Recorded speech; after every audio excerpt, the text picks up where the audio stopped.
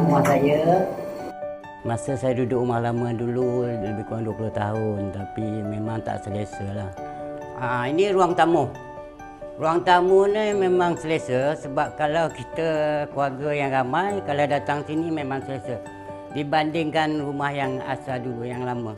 Kemudahan surau baru ni memang cantik, dua tingkat. Kita ada uh, kedai. Kedai ada lebih kurang 24 unit kedai dan pasar dua tingkat. Okey, alhamdulillah dan apa yang saya impikan dapat.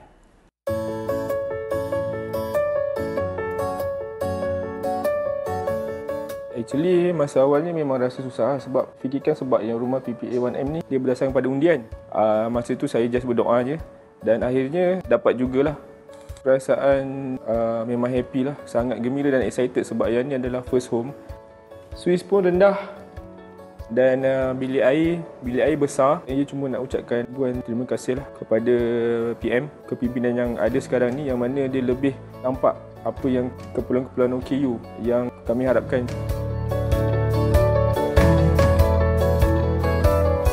Happy lah bang happy.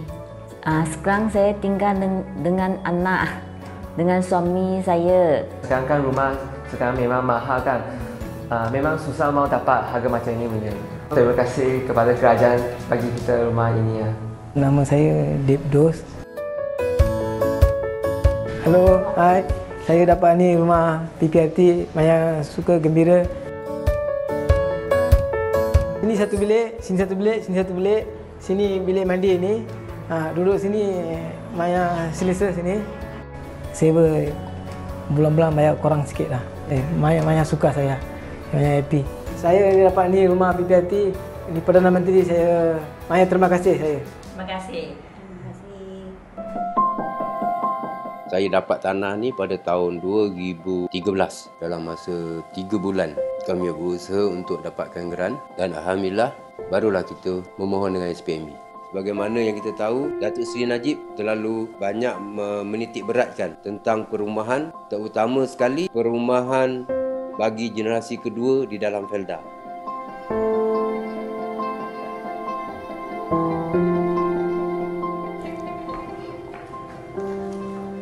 Uh, hai, uh, ni adalah rumah prima saya yang saya dapat penyerahan kunci pada bulan uh, Januari yang lalu. Saya sangat berpuas hati dengan uh, saiz uh, ruang tamu ni uh, dan saya berasa sangat teruja dan juga seronok lah. Cik berasa bangga lah sebab anak makcik dapat rumah prima ni dengan mudah kan. Yang lepas-lepas tu duduk tengok anak-anak sahabat-sahabat tu tak dapat sampai lah pun ada ni makcik berasa bangga lah.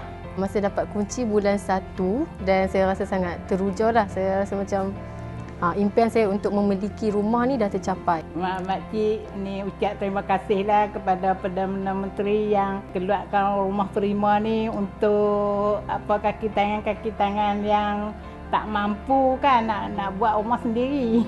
Dan bila dapat rumah prima dengan harga yang rendah tapi dengan saiz dan juga uh, saiz yang besar dan memang rasa sangat seronok lah.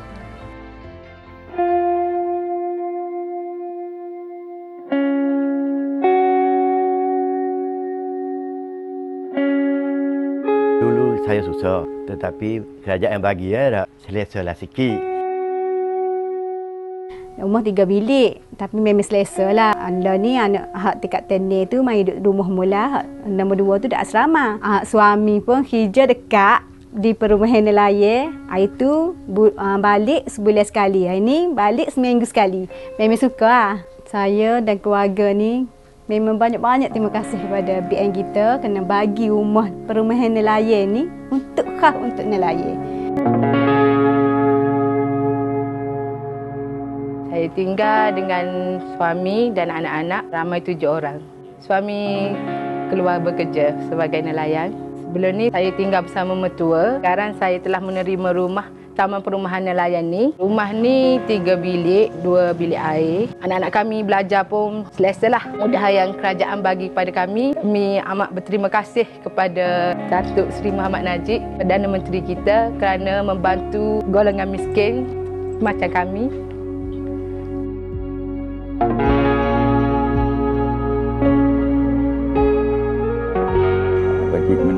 Ini dalam tahun 4 bulan lah rumah baru ni. Anu.